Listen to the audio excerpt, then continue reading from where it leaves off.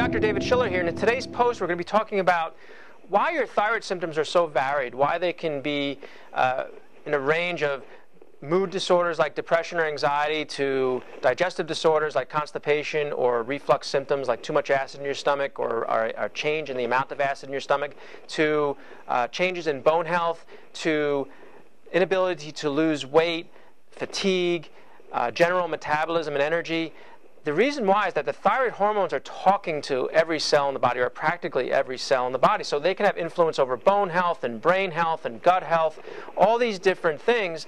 So as a result, you need to find a doctor who's going to be able to look at you in that way. You need to find someone who can look at your entire body's physiology. So when it comes to thyroid, if you remember from other posts, the majority of people in this country that have low thyroid, hypothyroidism in this country, in the United States, it's due to an autoimmune condition, a autoimmune process called Hashimoto's, where the immune system is mistakenly taking the thyroid as a foreign invader and it's attacking it.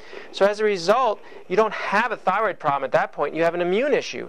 So if that is the case, and it's 70 to 90% of you may have Hashimoto's or this autoimmune process, very good chance that most of you do, then you need to look at the fact to find that out first of all. And if you remember, you would look at two, two uh, antibodies. One is called TPO and the other one is called TGA. TPO antibodies and TG antibodies. And if you have those, and by the way, they should be checked several times because a lot of times they'll come back negative because your immune system is so taxed that it can't even muster the response to create these antibodies at times. So you may, be, you may have had these things tested, but they're coming back negative, but that doesn't necessarily mean you don't have it. So they should be checked on subsequent series of, of blood works. But anyway, if there is an autoimmune condition, that means you do have an immune system problem, and the immune system needs to be evaluated. But the other things that need be looked at in a thyroid condition or any chronic condition for that matter is that if you do have an autoimmune condition, like we just said, this is the place where the immune system needs to be evaluated. And by the way, you're not going to cure it. There's no cure for any autoimmune conditions, whether it's Hashimoto's or celiac or lupus or rheumatoid arthritis. There are no cures for these autoimmune conditions, but you do need to find a way to modulate your immune system, to calm it down, to find what is triggering the immune system into the destruction of that thyroid so that you can start feeling better. You also need to find out whether you do have anemias. If you have anemias, whether it be B12 or or iron, those anemias are going to cause changes in how oxygen gets delivered to all your tissues. And if you look at what is necessary for function in life, you need glucose and you need oxygen.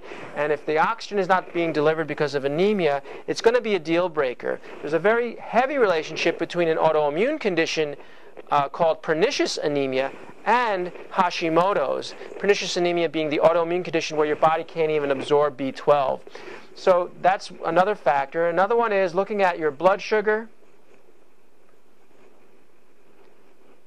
and your adrenal glands. And on other posts, I've talked about the adrenal glands and how they should be evaluated. They should be evaluated by saliva and not blood.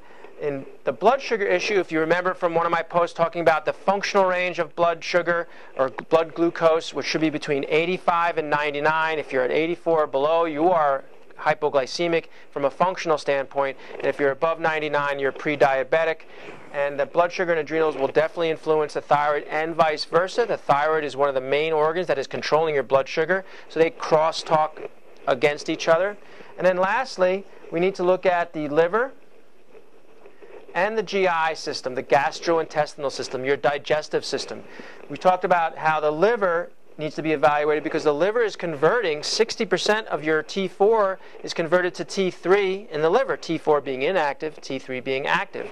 And the GI system is another place where your, your T4 is being converted to T3.